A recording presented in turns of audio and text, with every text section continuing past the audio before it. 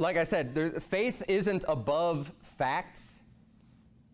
A fact is true, and faith is faith, and we put our faith in the truth. Right?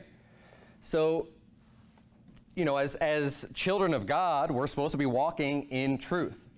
And when we have evidence and we have facts and we know that things are true, we need to use those things. And we need to get some understanding and some education also. This is important. We, you know, it's great. You know, everyone that puts their faith in the Lord Jesus Christ, amen. Right? You're saved, child of God. Awesome. And, and I want to see as many people as possible. But if we're going to be more effective, we need to get education. We need to get wisdom. We need to get understanding. We need to start learning and, and understanding the way things work and the way things operate and the way things have operated. We need to learn history. We need to learn a lot of things to be more effective in general. I mean, the more truth that you have, the more knowledge that you have, the better you're going to be at convincing people on a variety of subjects.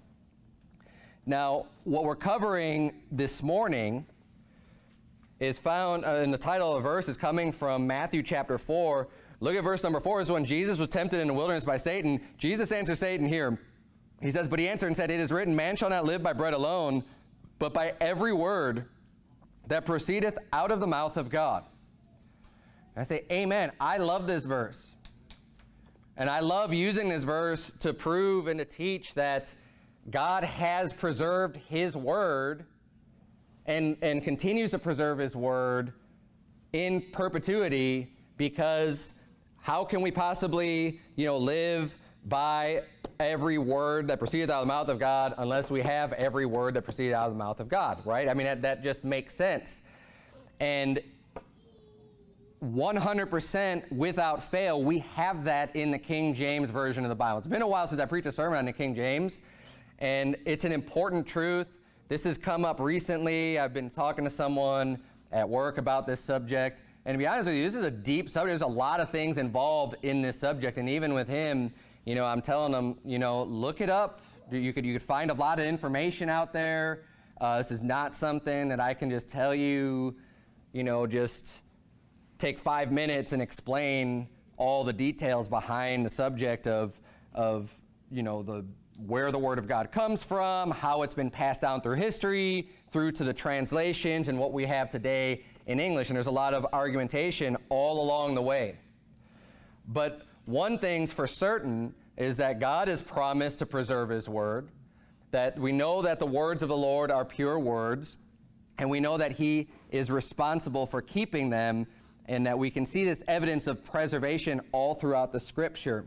Now, before I get even any further on this, because this is undoubtedly a, a, foundational element of our faith that we stand on here at Stronghold Baptist Church, that the King James Bible is the inerrant Word of God, preserved for us 100% perfectly in the English language for us today, and that is the only version of the Bible that we recognize, and um, it is 100% true. Now, I also want to just point out, though, the carefulness, and I've done this in many other sermons in the past as well, of how literally we want to take things.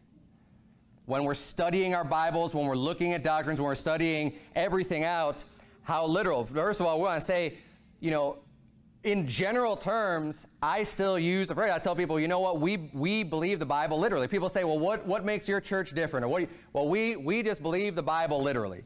Is there anything wrong with saying that? No, of course not.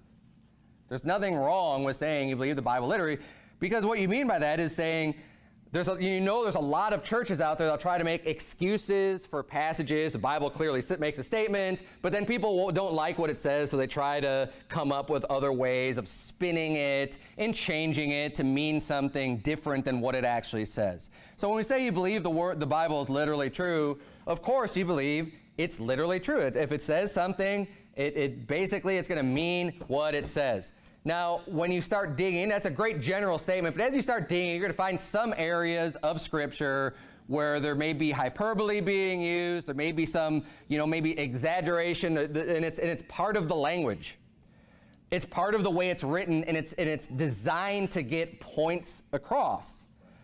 Which is why we have to use discernment and understanding when reading the Bible so that we come across with the right meaning.